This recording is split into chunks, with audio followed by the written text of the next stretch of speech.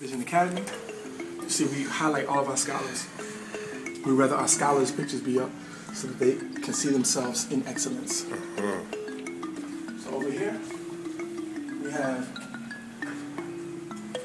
unity is strength. And if you can see right there, they're actually,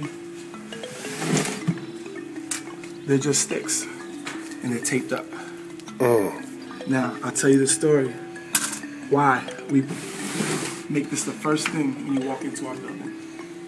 Yes. Mm-hmm. Hey, Mbote.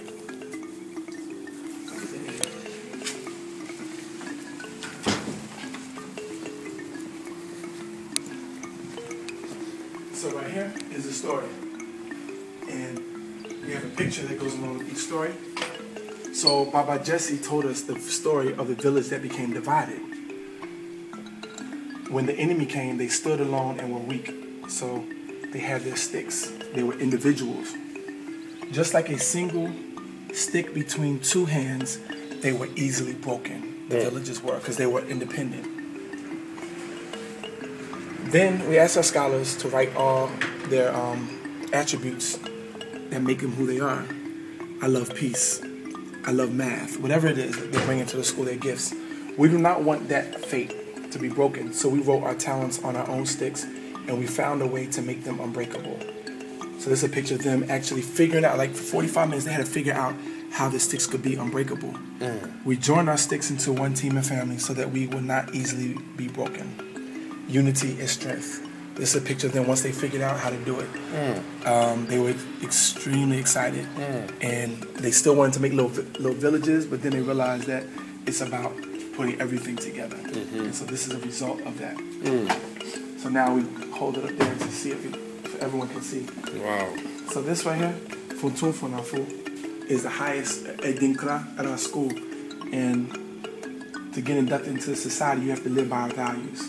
And when when we get to Dinkra Avenue, I'll show you. But um, when we first got here in our amphitheater, there was a fern growing through the sewer. And we were looking at it, and one of our values um, is represented by the Dinkra Aya, which is a fern. And we said, look at this. It's a fern growing out of the sewer. And so then we all, all the teachers just automatically said, you know what? This is will be a sacred place because Aya means strength. It means being uh, Aya plant is, is hardy. It can grow in most any place. It's one of the oldest species of plants. So we want our children to have perseverance, diligence, and to grow through anything. So if this can grow out of sewer, then our children, no matter what their background is, they can mm-hmm. grow out of anything and be mm. strong like Aya. So people who show Aya will be inducted into Funtun Funafu, Unity for One Destiny. And we have actually have our induction ceremony today, our third induction ceremony. Mm. We have nine more people being inducted. Mm. What are the criteria for induction? This is, yeah, what's his name of the avenue?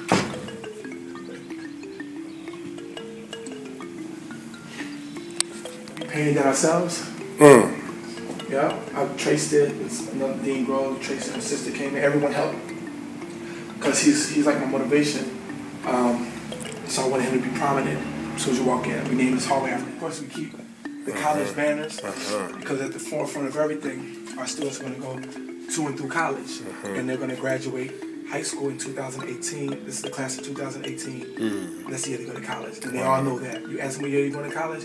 2018. Mm. It's programmed already, so they don't have a choice. they don't have a choice.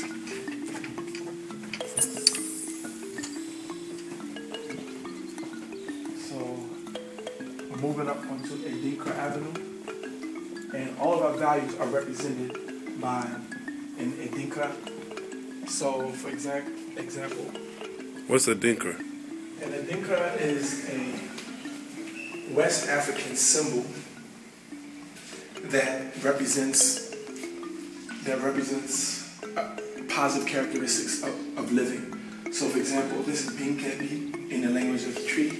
So, Bi Nka Bi, this is an abstract version of two alligators biting each other's tail, like in a yin and yang type vibe. And so, what that means is that I have, I can destroy you and you can destroy me, but we respect each other and coexist in, in harmony so that, you know, we don't do it. So it's through respect of each other and respect of our own power and of your power that we live um, together. So if we see a student um, ex- giving, what's, you know, exhibiting respectful behavior or behavior that has been can't this is shrunk onto a little piece of paper, mm. and the teacher would give it to them, Bi Nka Bi, and they have to have 12 Adinkra. When you you Adinkra, they have to have 12 to be inducted, to be eligible to be inducted into Funtun Funafu. Mm-hmm. But that means you have to go above and beyond. If, mm. if somebody's a beef, if somebody's beefing, having a disagreement, and you say, no, this is not gonna happen in our school, and you break, you know, stuff like that, like then you get these Adinkra. Mm. So, so then we say, welcome to the village, because in the village, um, everyone's safe in the village. Everyone's protected in the village. Everyone is allowed to take risks in the village. Hmm. Everyone is allowed to be a brother or sister to each other in the village. So we call it the village because we're all one team, we're one family. I'm Baba Jishafe, that's what they call me, because they know that Baba means father. Mm-hmm. So now some of them will call me Baba Jishafe, it is mm-hmm. Baba. Mm-hmm. Baba Kojo is Baba, or Baba Jesse, or Baba Kojo. So we say that when you're in the village, we're your fathers, we're your mothers. So we'll treat you like that, protect you like that. And we're coming into the village. And like I was saying before, we're going to, going to college in 2000 2018.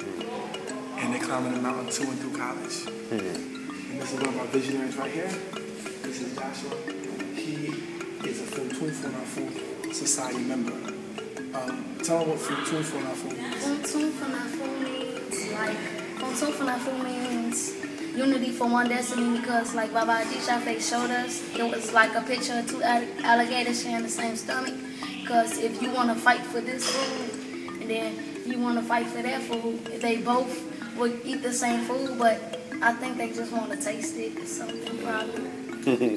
I like that. That's what's up. And uh, like we try we try to keep it in balance just for people to come to us to see what problems they can deal with so we can uh, try to sort it out and or if it's too much we gotta leave it to an adult. So they're the leaders of our school. So we're training them to be the leaders of the school. They have jobs. Um, you have a job here? What's your job? Don't. Oh, you don't have a job? But some of the jobs are bathroom monitor, hallway monitor, bus monitor, a DINKRA manager. Um, children earn those DINKRA. Mm-hmm. They write it down, record it in the, in the mm-hmm. spreadsheet, and they keep track of everyone's earnings for the DINKRA. Mm-hmm. So the whole job is just to employ people, to employ uh, from Tufana Food Society members. Because it's like society. If you're not employed, hey, you, may, you may be going different different ways. It's Yeah. not positive. So It's true. same thing here at school. We can have a credo. Do you know your credo? Yes. As a team and family, we share a common destiny. If I help myself, I help us all. If I empower myself, I empower us all. I am because we are, and it's on the back of the shirt. Let's see. Get back on your shirts. That was good. You said that very well. He knows it. You know it. Mm-hmm. Very good, young man.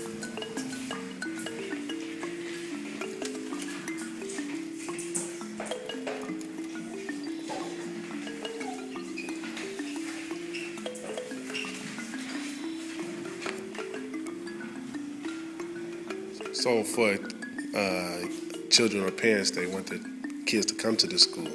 How do they do that? How do they make that happen? Man, if you're eligible to go to any Atlanta public school, you're eligible to come here. Uh, we don't self-select; they select us. And then if we have more kids who are or more families registering by our cutoff date, then we have a lottery after that, and we put all the names in the hat and literally have a lottery. Balls in there and pull them out. Number 42, and that family gets in. So we make it fair. So no self-selecting, and you know we're, we're open enrollment for anybody. So So, so how do they contact you? What's the best way? um, they can call 404-537-5252, 404-537-5252, or you can visit us on the web, of course, um, www.kippvisionacademy.org. And KIPP is spelled K-I-P-P, Knowledge is Power Program, kippvisionacademy.org.